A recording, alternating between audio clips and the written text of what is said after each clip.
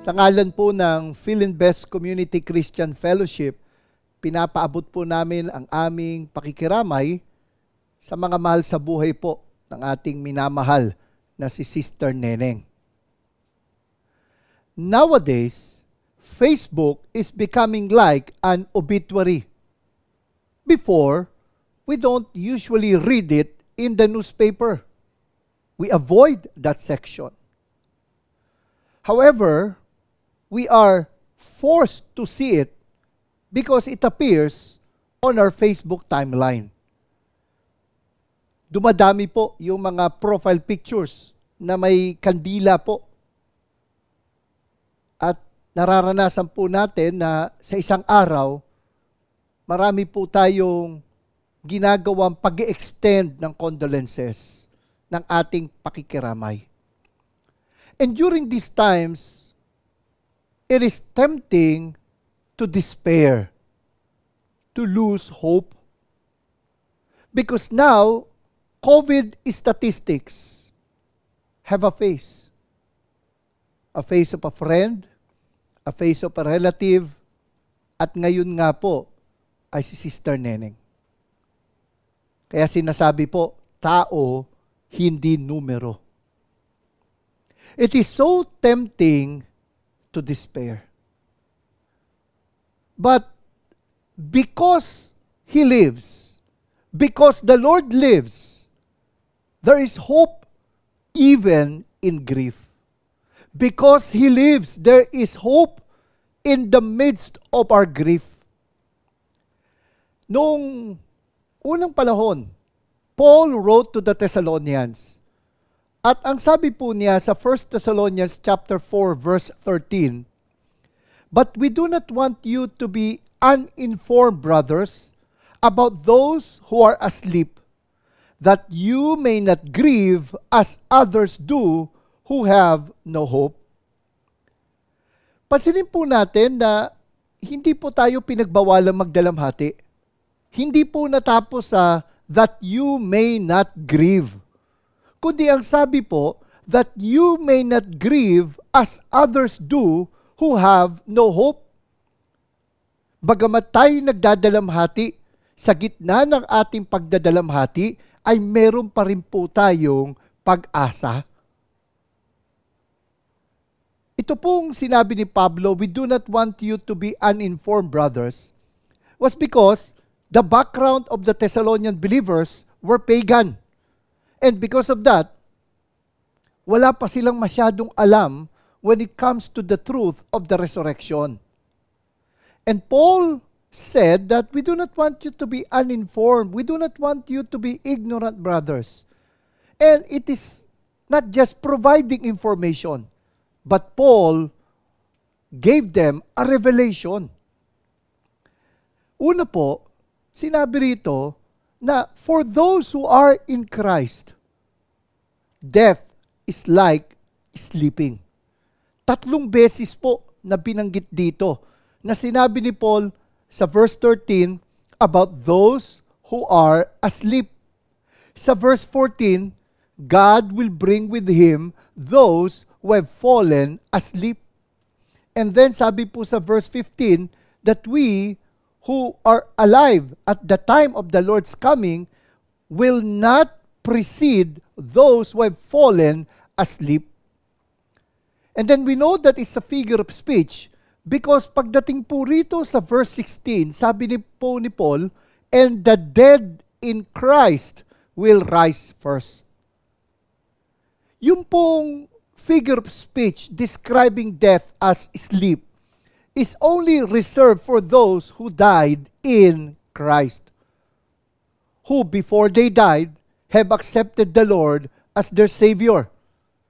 If you read the Bible, that figure of speech, sleep, referring to death, ay ginagamit lamang po for believers who have died. Kapag po hindi mananampalataya yung namatay, ang sinasabi lang ng Bible, sila ay namatay.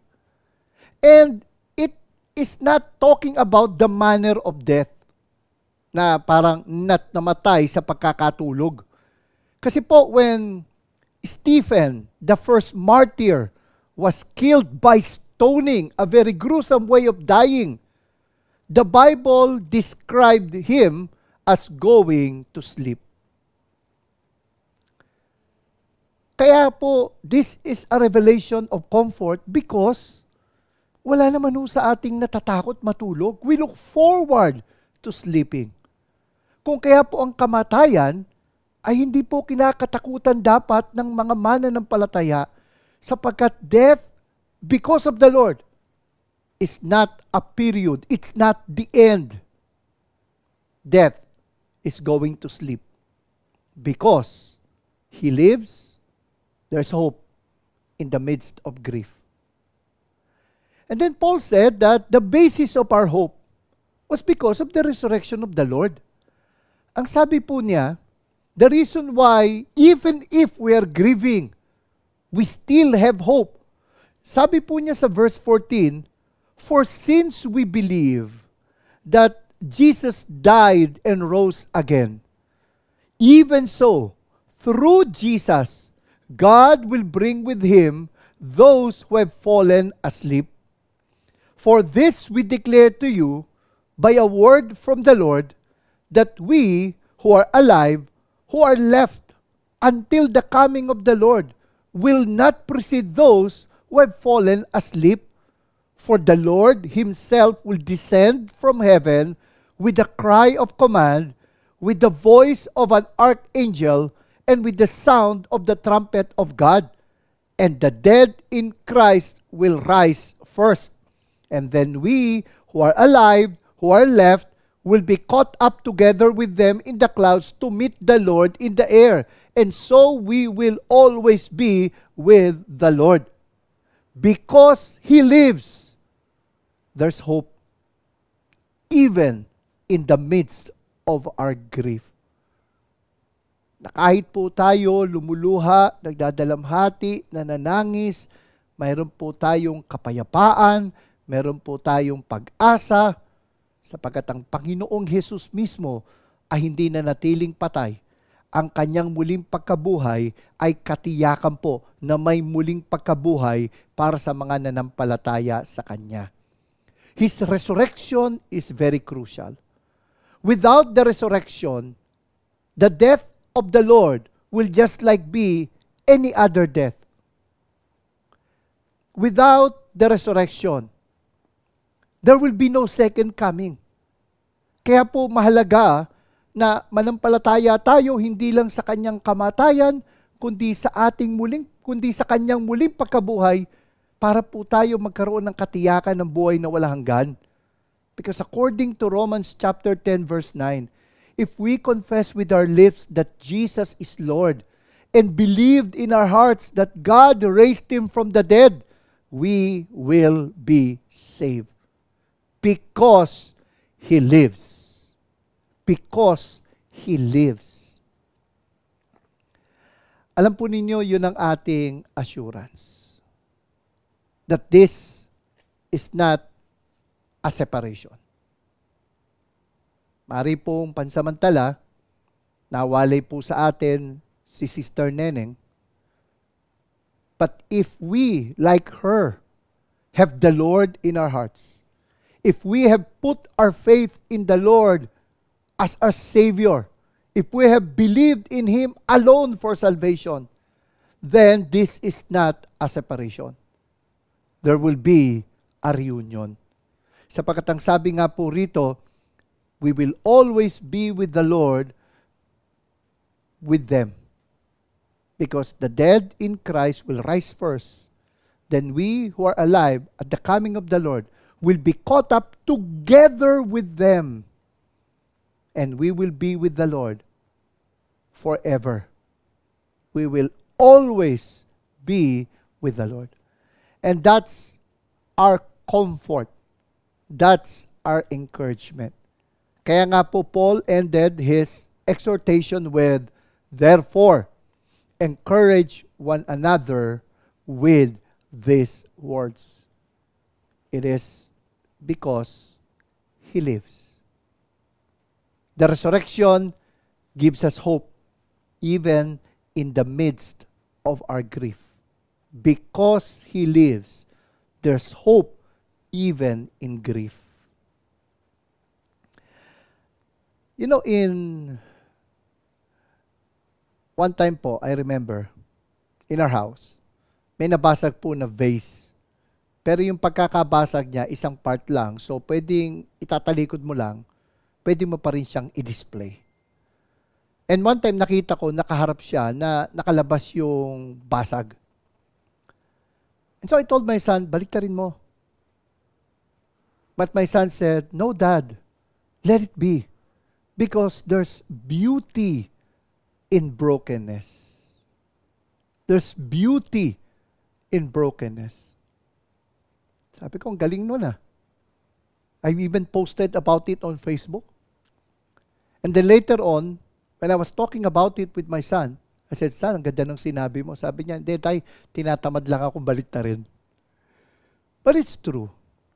There's beauty in brokenness. Hindi lang po ito something positive just to pep us. Kundi, katotohanan po ito. There is beauty in brokenness because He lives. Alam po ninyo in Japan, meron pong tinatawag na kintsugi na ang ibig sabihin po, golden joineries. Ginagawa po nila, kapag may nabasag na vase or cup na mamahalin, pinagdudugtong po nila using gold or silver. Hindi lang po glue. Ang nagiging glue, yung ginto. And because of that, the vase becomes more expensive. We will experience brokenness because a dearly beloved passed away. Mahirap po sa atin yon. But it is our assurance from the Bible that even in our brokenness, we will experience the beauty of the comfort of the Lord. But that's not the end of it. Sabi nga sa infomercial, but wait, there's more when the Lord returns, hindi lang ho tayo patched up, broken vase. Kasi kahit na may ginto, broken pa rin yun. Subalit sa Panginoon po, the broken vase will be made whole. Because we will be resurrected. The corruptible will become incorruptible. No more sickness. No more weakness no more grief, no more pain, no more tears. Let me tell you, even now, even before the resurrection, Sister Neneng is more alive than ever because she is with the Lord. And we could look forward to a joyful reunion with her if we have also received the Lord that she received. So that we will really experience this truth that because He lives, there's hope even in the midst of our grief. May God comfort us with these words. Tayo po ay manalangin. Lord, we pray for the family of our dear sister Neneng. It is very painful you know the depth of our grief.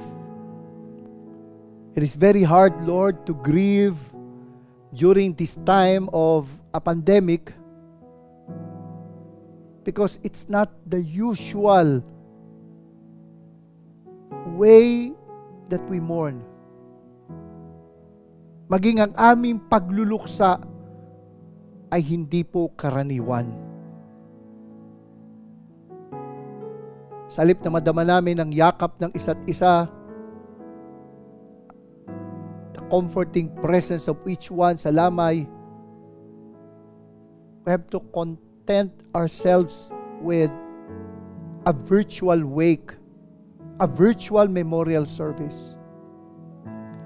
That deep within our hearts, we are so grieving But Lord, we thank you that there's hope even in the midst of our grief. And our hope is anchored in the truth that once in her life, our dear Sister Neneng has accepted you as her Savior. And because of that, we are assured that she is now joyful, peaceful, without pain, without sickness, in your glorious presence. And Lord, as believers like her, we look forward to reuniting with her in your presence. And I pray for those who wanted to have the same hope. I pray that they would also receive you as their Savior, just like what Sister Nenning did. I pray that from their hearts they would say, Lord, I want to have the same hope. I am a sinner. Thank you for dying on the cross for me. I accept you. I put my faith in you as my Savior. Thank you for your assurance that whoever believes in you will have eternal life. Lord, I pray for the family and everyone who loves Sister Neneng, that in the midst of their grief, that you would bind them closer to you and to each other, that you would draw them closer to you and to each other, that you would assure them of your loving presence. Na kapag tinatamaan po sila ng kalungkutan, ng pangungulila, katagpuin niyo po sila and may they experience the peace that passes all understanding. Use each one also as a channel of your comfort. We thank you because we have hope in the midst of this grief because you live. Thank you, Lord. We glorify you. Amen.